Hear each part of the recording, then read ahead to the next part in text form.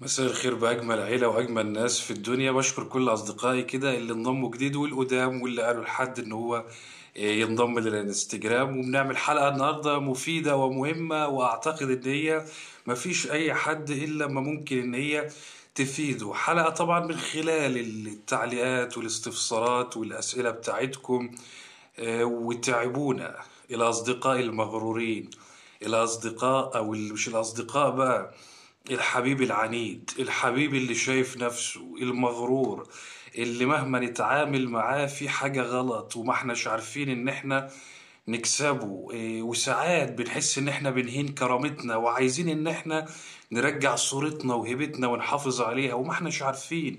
نعمل إيه؟ علم النفس كالعادة هو اللي معاه المفتاح والحل للمواضيع المعقدة بين المرتبطين وهو ده اللي إحنا جمعناه وخلينا الخلاصة في حلقة النهاردة وهنبتدي فيها. وخلوني كده إيه، أدعو اللي ما اشتركش في القناة إن هو يشترك واقول لكم شيروا على قد ما تقدروا ده طلبي الوحيد عشان ال ال ال الإفادة توصل للي محتاجها. آه، وندوس like لو شايفين الحلقة دي مفيدة ال like يساعدها.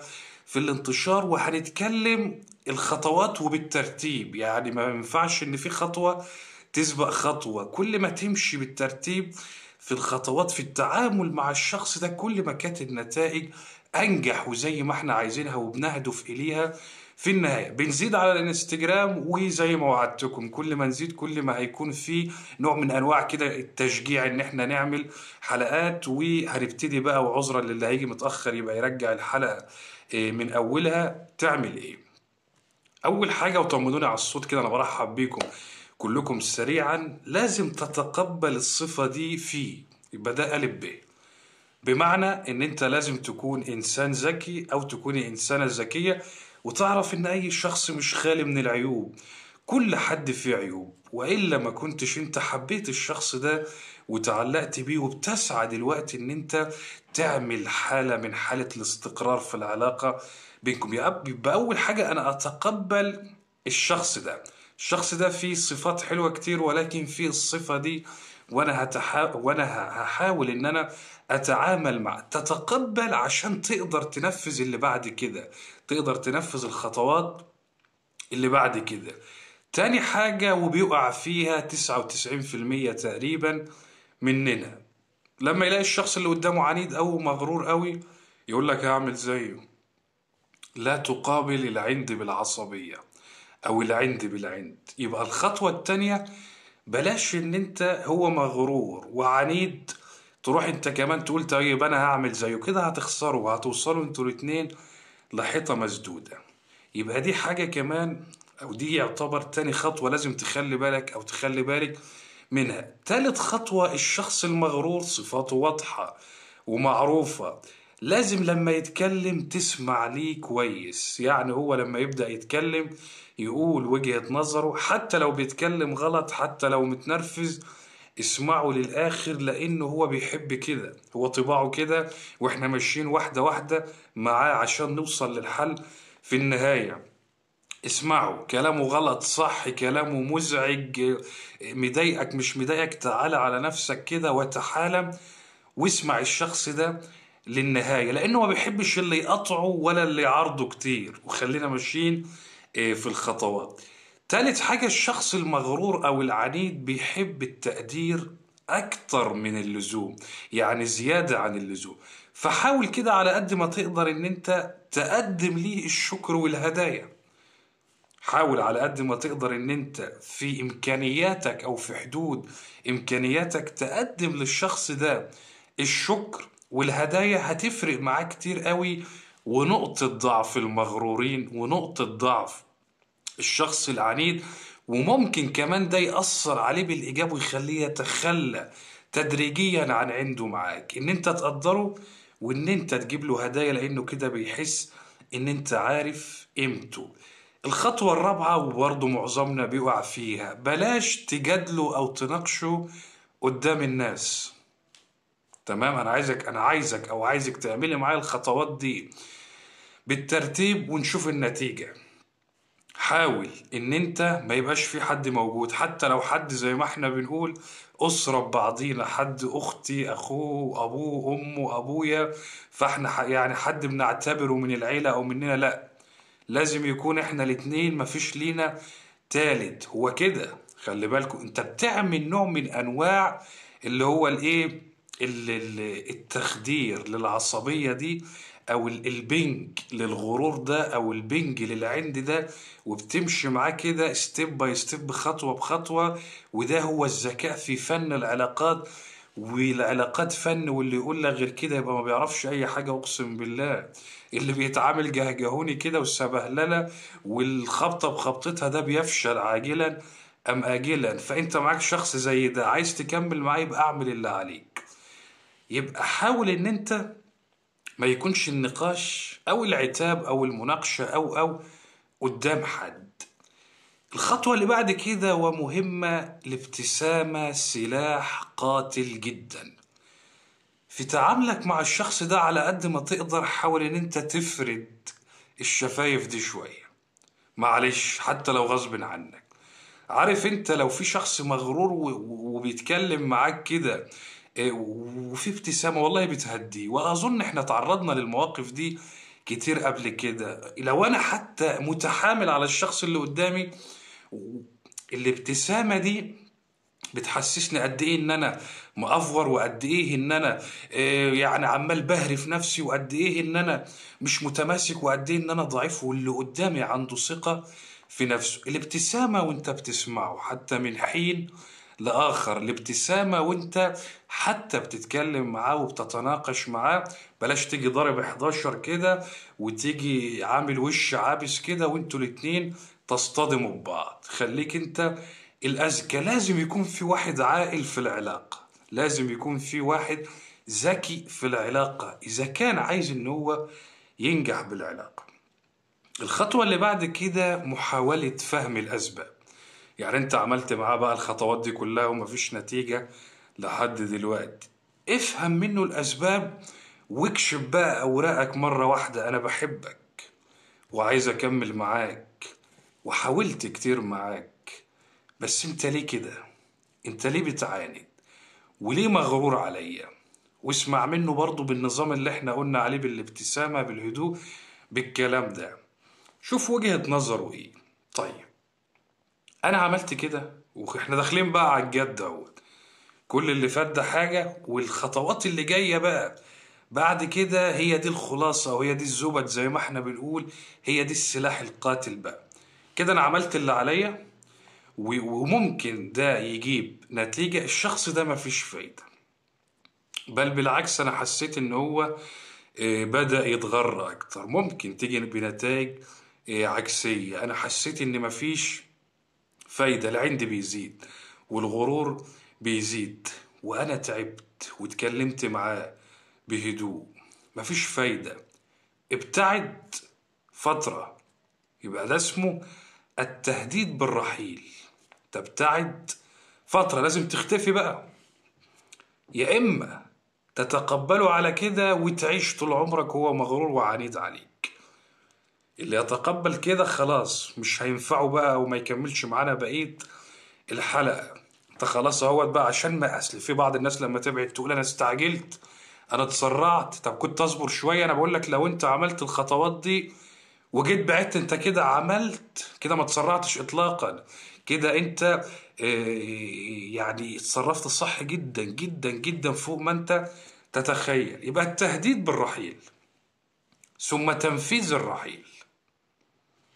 التهديد بالرحيل أو مساومة الحبيب زي ما إحنا بنقول. الخطوة قبل الأخيرة مساومة الحبيب. لو انت مش هتتغير لو انت مش باقي عليا لو انت ما انتش عايزني حط نفسك مكاني. مفيش حد مفيش حد يقدر إن هو يتقبل إن يعيش مع شخص مغرور عليه وشايف نفسه عليه باستمرار. أنا هبعد. ممكن الحبيب المغرور تاخده العنجهية ويقول ده بتاع كلام ده آخره كلام. نفذ بقى.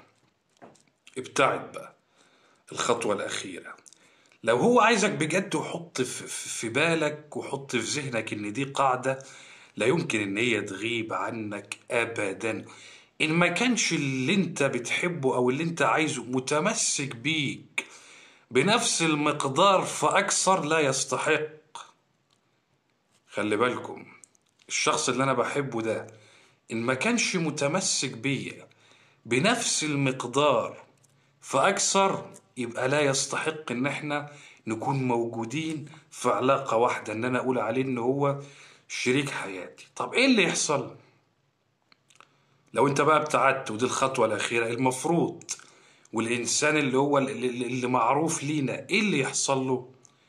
ده لو بيحبك ده لو صادق معاك ده لو جاد إيه، معاك ده لو باقي عليك يبدأ يحس إن في فراغ إن في شخص كان بيستحمله في أسوأ حالاته ألا وهي الغرور والعند والعصبية في عز ما كان هو متعصب وعنيد ومغرور كان بيقابل ده بابتسامة. في جمال أكتر من كده؟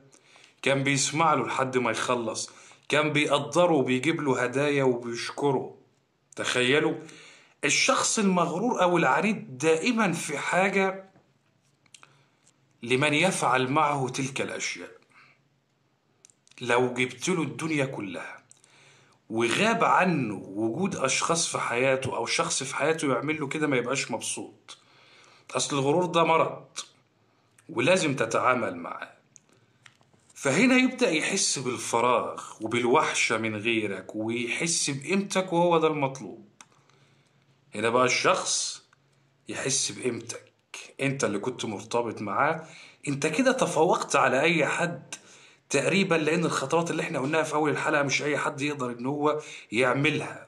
فلما أنت تعملها أنت كده بقيت إنسان ما أنتش عادي. اللي يعمل ده وهو بيتعامل مع شخص مغرور أو عنيد ويقدر إن هو يعمل كده ده معناه إن الشخص ده قوي جدا جدا ومتحكم في نفسه جدا وفي حاجة مميزة جدا.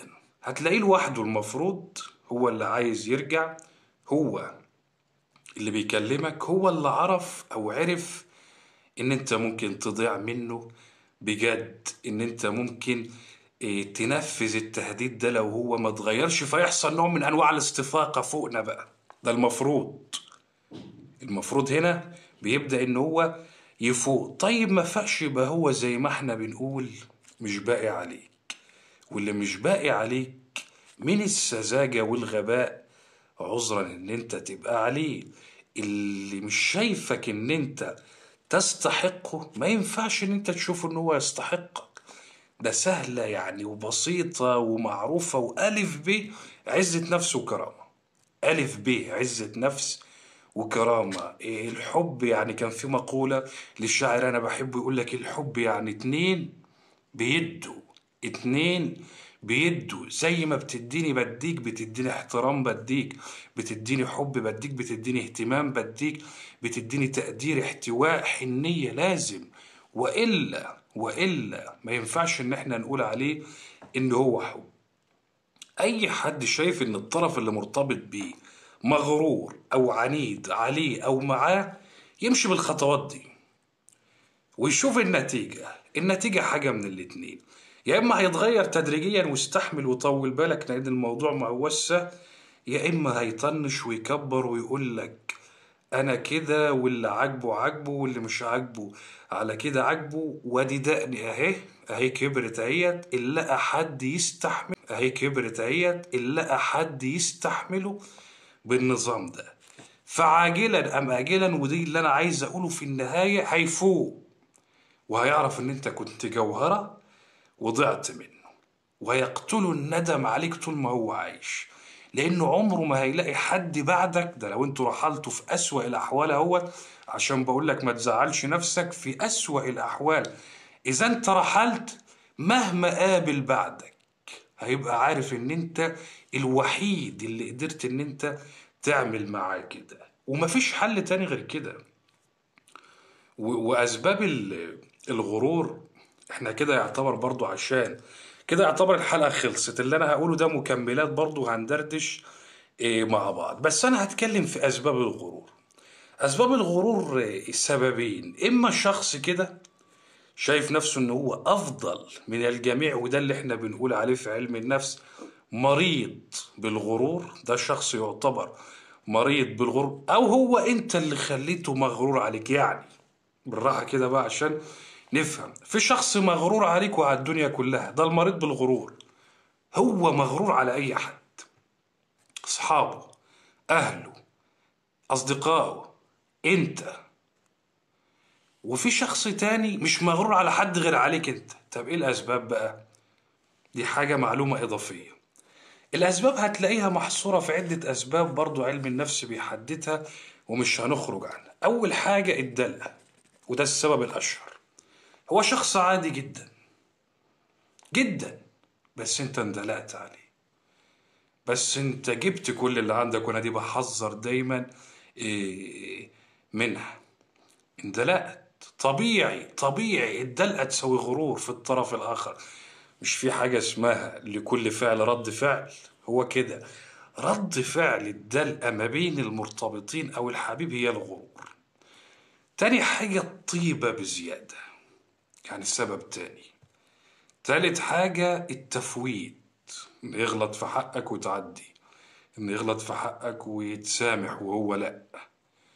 فيبقى نتيجة لكل ده أصبح مغرور عليك أنت بس. أنت بس. يبقى هما دول النوعين اللي مالهمش تالت في الغرور أو العين. والاتنين علاجهم واحد. الخطوات اللي إحنا قلناها في حلقة النهاردة. مش هطول عليكم أكتر من كده لو حد بقى عنده سؤال. وقولوا لي رأيكم في الحلقة لأنكم عارفين إن أنا رأيكم بيهمني أو دوسوا لايك يا جماعة رجاء لو شايفينها مفيدة. شيروا على قد ما تقدروا توصل لبقية أصدقائنا. واللي عنده أي سؤال أنا تحت أمره. اللي فهم الحلقة واللي شافها مفيدة يقول لي واللي شافها فيها حاجات مش واضحة يقول لي. أنا معاكم. غلط الاندلاع على الطرف التاني. طول, طول عمري بقول أنا طول عمري بقول في حلقاتي بلاش الاهتمام حاجة والدلقة حاجة ووضحت هننزلها على اليوتيوب كالعادة بس مش كل الحلقات بقى على الانستجرام هننزلها على اليوتيوب. أنا بعمل كده استجابة إيه ليكم. ولكن هننزل الحلقة دي مادام في عدد كبير عايزة إن شاء الله هننزلها. تحية من العراق أهلا بك حلقة أكثر من روعة أشكرك. يبقى أنا شايف كده إن إيه، معظم الناس أو كل أصدقائنا إيه، بيشكروا في الحلقة. والحمد لله إن هي قدرت إن أنا أوصل اللي أنا عايز إن أنا إيه، أو ما راحتش الحلقة ولا حاجة ترجع من الأول تجيبها. الحلقة دي يا جماعة للطرفين رجل أو امرأة عامة كبير أو صغير أي حد. مفيدة جدا بس السؤال اللي شايف نفسه دايما الصح ما هو نفس الخطوات بقى؟ ما هو اللي شايف نفسه صح المغرور العنيد كل ده هو معظمها كده أوجه لعملة واحدة. ما عندناش اختلاف. هي كلها أوجه لعملة واحدة كلها هتمشي معاها ال ال ال العلاج أو الخطوات ده. العلاج ده بيداوي جميع الأنواع. دي هم أخوات. المريض النفسي والمغرور وال- واللي هو شايف نفسه صح. كل دول أخوات. فما فيش فرق بينهم. فالتعامل معاهم والعلاج معاهم واحد. في كلام ملعبك قوي وكتب كبيرة قوي أنا اختصرتها في حلقة النهاردة وحاولت إن أنا أوصلها بأبسط ما يكون عشان يعني أكبر قدر يقدر ان هو ينفذها على قد ما يقدر مع الطرف اللي هو مرتبط بيه. صحيح دكتور اللي تح... اللي تخليه المغرور يغرق. آه طبعا. اللي تحبه بزيادة يتغرى عليك معروف تأخرت على ال live. معلش ملحوقة لا تحذف ال live. إن شاء الله مش هنحذفه. وهننزله على الإنستجرام وعلى الفيسبوك ما تقلقوش. أنا يعني إيه، ماشي بآرائكم وتوجيهاتكم زي ما أنتم عايزين. طب يا جماعة اللي عنده سؤال جوه الحلقة بره الحلقة هناخد خمس دقايق كده كالعادة في كل live أجاوب عليكم. بس نكتب بسرعة رجاء عشان عايز إن أنا أجاوب على أكبر قدر من أصدقائي وحبايبي اللي موجودين معايا إيه، على اللايف واللي ما اشتركش يا جماعة يشترك الحساب بسيط اعمل حساب وانضم لنا. أنا بقول تقريبا بشكل يومي على الإنستجرام هنعمل لايفات مع الأسف أنا مغرورة وماشي حالي هم بيقولوا لي مفتخر إن أنت مغرور. رجل السرطان وأنثى الحوت علاقات كويسة جدا. جدا. ممتازة العلاقة دي. لشو دايما مستعجل؟ مش لدا مش لشو دايما مستعجل مش عايز أطول عليكم. لأن الحلقة هتنزل على اليوتيوب وعلى الفيسبوك فمش عايزها تكون إيه طويلة. جوزي جوزاء وأنا عذراء مش ما هو التوافق صعب قوي وأنا قلت دايما الجوزاء والعذراء دول توافقات صعبة جدا ايا كانت الأطراف. الجوزاء بيشوف العذراء ممل والعذراء بيشوف الجوزاء مجنون من وجهة نظر كل واحد ولا يسأل إيه عنها يعني غيرهم. بعت فوق ايزي كيف التعامل مع رجل الجدي وأنا برج الثور عنده عصبيه أنتوا الاثنين عندكم حتة العنجهيه دي زيادة عن اللزوم لازم تخلوا بالكم منها وعدم تنازل وبتخصموا بعض فترات طويلة. رجل الجدي وامرأة الجدي في توافق بس لازم المرأة الحديدية هنا يعني إيه, إيه تلم تلين الأمور شوية. تلم الأمور شوية عشان العلاقة دي تمشي. إذا كانت هي عايزاه تمشي. كيفية التعامل مع رجل السرطان لما يعاند ويبعد في السي في شوية. سيب رجل السرطان شوية لأنه بيحتاج وقت على ما يعمل عملية استشفاء وفي أبراج معينة. حتى لو هي اللي غلطانة ما دام ابتعدت ما تروحش تصالحها بعد يوم ولا اتنين ولا تلاتة لازم تسيبها فترة. وإلا كده بتعك إن شاء الله نعمل الحلقة دي. لو عجبتكم يعني. بالترتيب كده الأبراج اللي عايزة لما يحصل بينكم وبين بعض زعل تسيبها فترة. الله عليك أبدع تسلمي لي. أنا بلم الأمور تسلمي لي يا هند ربنا يخليكي بس هو بارد جنني. طب أنت برج إيه؟ هو برج إيه؟ أستاذ من فضلك الرجل النرجسي المنحرف. ما هو كل ده بقى؟ يعني أوجه العملة واحدة. النرجسي المغرور العنيد اللي شايف نفسه صح كل ده ينطبق عليه إيه اللي إحنا قلناه في الحلقة ونفس العلاج واحد. سلام أستاذ محمد أهلا بيك. دودو انت بعت رسالة كبيرة قوي مش هلحق إن أنا أقراها. شكرا أحب فيديوهاتك. تسلمي لي ربنا يخليك. إيه الحلقة جميلة قوي ربنا يخليك. تسلمي لي. التعامل معاه إزاي؟ في مشاكل كبيرة مع مين؟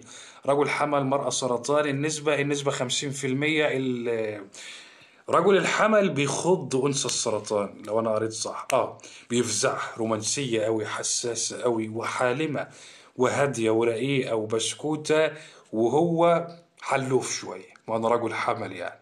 فمشكلته في كده.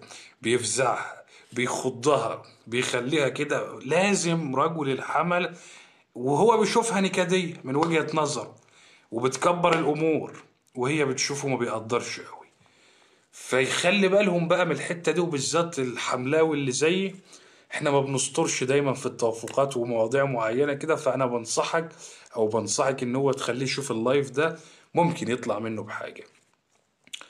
برج الثور لا يتكلم عن مشاعره. آه بخيل في مشاعره رجل برج الثور والجوزاء بتحب تسمع. نقطة ضعف الجوزائية ودنها. سمعها تاكلها. غير كده طيب شو بالنسبة لبرج الصعد؟ برج الصعد أنا قلت إن أنا أعمل حلقة بس أنا ما بشوفش إن في حد كتير يعني مهتم بالموضوع. وبشوف إن في حلقات تانية بتنال اهتمامكم فبضطر إن أنا إيه، أسبق بيها. يعني مساء الفل على الجميع وعليكي. ما بتكراش مساء والله ابدا أنا ما يعني ما يعني بقرا اللي بيجي قدامي ممكن وأنا بجاوب تكون بتبعت لي. دودو بتقول رجل الجدي بيحسسني بإهمال وأنا ولا في باله حوتية وما ادينيش نفسه أكمل. ما إحنا لسه قايلين الخطوات اللي في حلقة النهارده اعمليها معاه وشوف النتيجة في النهاية. آه، الدلوية مع الجدي توافق صعب جدا جدا وهما الاتنين تعبين بعض. يعني الدلوية عايزة مساحة وساعات بتطنش واجتماعية قوي أكتر منه ورجل الجدي عنده حب امتلاك وبيدقق في أدق أدق التفاصيل ودي بتزعجها. والتوافق صعب. التوافق صعب وليس مستحيل محتاج إن إحنا نتفهم طباع بعض أكتر. لماذا القوس لا يترك السرطان؟ ما فهمتش. جاوبني على إيه؟ حبيبتي الجدي حبيبتي الجدي بارد وإحنا الحوتيات عاطفيات ده واحدة بترد على واحدة. لماذا الق... ماشي. إيه... حد يا جماعة عنده أسئلة تانية؟ علشان أنا شايف ال... الأسئلة في أسئلة متكررة ما بحبش أرد على أسئلة متكررة. لونا بتقول عقروبة وعذراء في توافق عالي بين الاتنين وبيعجبهم تقل وغموض وذكاء بعض ودي حاجة جميلة على فكرة يعني. برج الثور يتحدث عن آخرين بس لما تيجي للجوزاء السكوت تام ما فهمتش. يعني لا هو قليل الكلام مع الجميع وليس فقط مع الجوزاء للعلم برضو عشان ندي كل حاجة حقها. توافق أبو السحاب؟ إيه أبو السحاب ده؟ آه أبو الروقان بقى اللي هو الدلو مع أنثى الطور صعب جدا وأنا قلت في اللايف بتاع امبارح الدلو مع الطور والجدي والحوت والسرطان الأربعة دول مفيش عمار قوي بينهم. ومش بعقدكم بس بفوقكم. النصيحة بتفوق في بعض الأحيان. طب كيف التعامل مع المغرور بوسائل التواصل؟ نفس الخطوات. ويعني وسائل التواصل مش بنتكلم مش بنشوف بعض. ما خلاص ما هي يعتبر واحدة. إيه الفرق يعني؟ أنثى حوت ورجل قوس صعبة بس هي هتيجي على نفسها شوية. هتحتويه وهي بتعرف تعمل كده. وعلى فكرة إذا قلنا مين أكتر أنثى ناجحة في التوافق تتفوق على كل الإناث مع كل رجال الأبراج هتيجي الحوتية رقم واحد. عندها قدرة على الاحتواء غريبة وتستحق الإشادة أنا هكتفي بالقدر ده عشان ما أطولش عليكم وقولوا لي في التعليقات لو عايزين الحلقة في ال live تبقى أطول من كده قولوا لي. بس أنا شايف إن هي هتبقى رخمة وهتبقى مملة أنا والله ما عنديش مشكلة أقعد معاكم ساعة كمان بس أنا بحب إن أنا عارف إن وقتكم غالي ومش عايز إن أنا أطول عليكم. بشكركم جدا وإن شاء الله إن شاء الله بكرة هنعمل live تاني وموضوع مهم تاني بيهمكم. وعلى قد ما تقدروا بقول لكم حاولوا إن أنتوا لي أخ لي صاحب لي قريب إن هو يخليه يشترك. اللايف لما بنكون مجموعة كبيرة عارفين بعض بيكون أمتع وأفيد وأفضل. ويلا بقى إلى اللقاء.